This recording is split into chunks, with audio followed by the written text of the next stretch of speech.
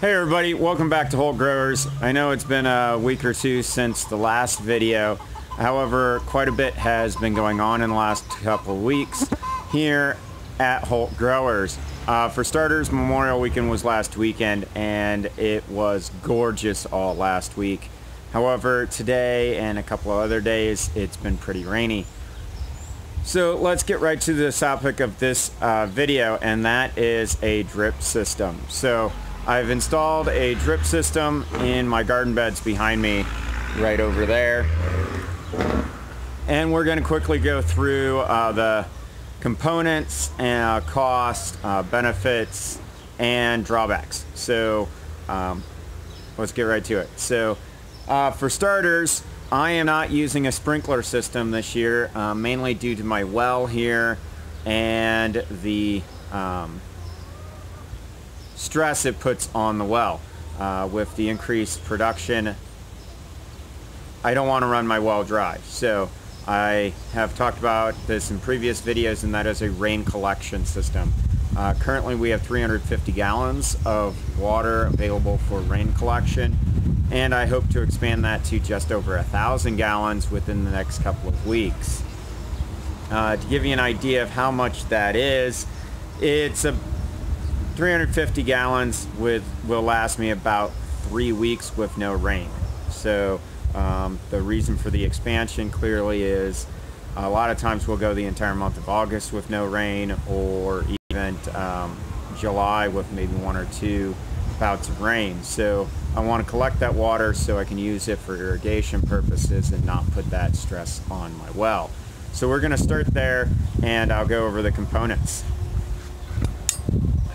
So if you follow me over here, it is nice and sunny out as you can see. This is the rain collection. We did paint it. Two sides are white because that's the paint we had and two sides are black. Uh, the reason we want to paint it is no sunlight, no algae growth. We don't want algae growing in our rain collection system. It will clog up the hose lines and overall not make the water very good. So uh, I will be adding two more of these right next to it in the next couple of weeks and then adding a um, manifold at the bottom to connect them so they'll all drain off of one roof spigot spout and it will fill all three of them and then I can use a hose spigot um, to take water from all three of them. Currently I have a Y attachment and I will show you that real quick here.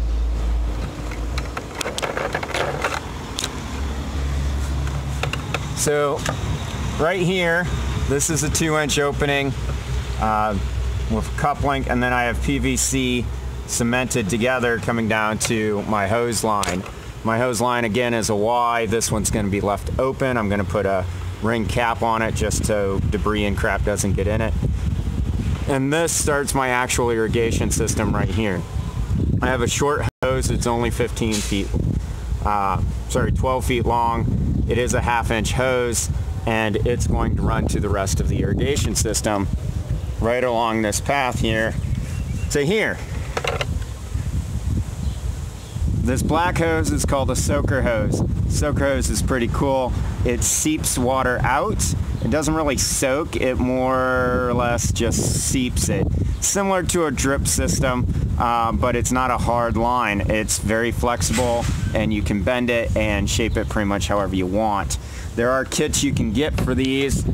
Um, these kind of kits that will allow you to add hard corners, but I like the flexibility of the system I have. I currently have 150 linear feet of this hose line in place with three hoses, so 50 foot each. And then it's really easy to put on. If you look behind me here, you can see them running right along my bed line rows.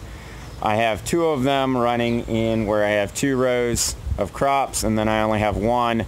There's beans planted there that haven't sprouted yet. Uh, I did take care of this by bypassing our garlic. So if you've been following us this winter, you know we've planted some garlic, actually quite a bit of it right there. It's going to be ready to harvest here in about one to two weeks. It's getting really close and I'm very excited about that. However, garlic before you harvest it, you want it to dry. You want the soil to be nice and crumbly and dry and you want those roots to dry out. So I did not run my drip system uh, with these soaker hoses through my garlic. That way I can uh, irrigate the rest of the crops without getting that garlic irrigated and let that garlic dry out over the next one to two weeks. Hopefully the weather will cooperate with the rain. If not, I might end up having to cover them with some type of plastic to keep the rain off so they can dry out. But they are going to be harvested very soon. Now, you look, I've got tomatoes. Intercropped with the tomatoes are some carrots that are just starting to peek out. Uh, those carrots should be ready to harvest in the middle of July. Radishes, uh, you can see that right here. They're intercropped with peas. I have the peas going down the center and then a row of radishes on both sides.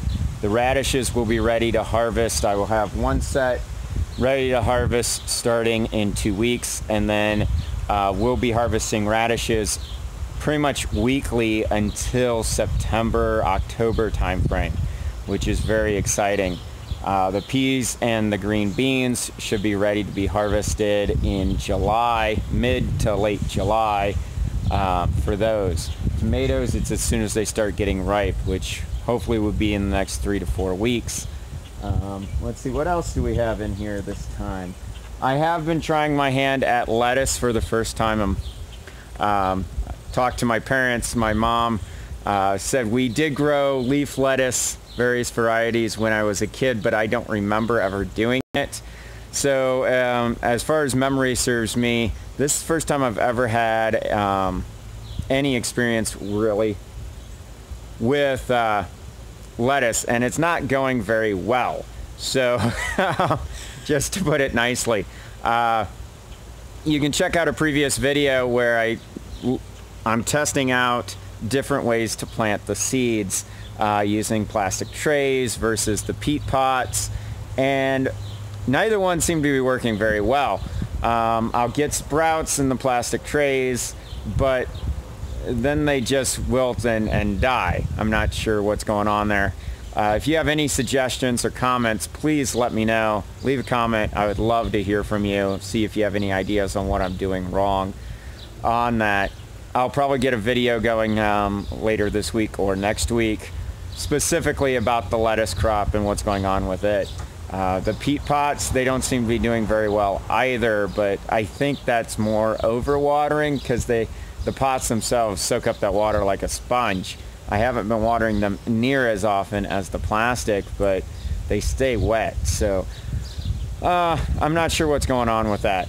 Like I said, if you have any suggestions, uh, let me know in the comments. I'd love to hear from you. Uh, also, you can see some framework going on. By the end of the week, I have the next three days off of my work, uh, my full-time job outside of the farm.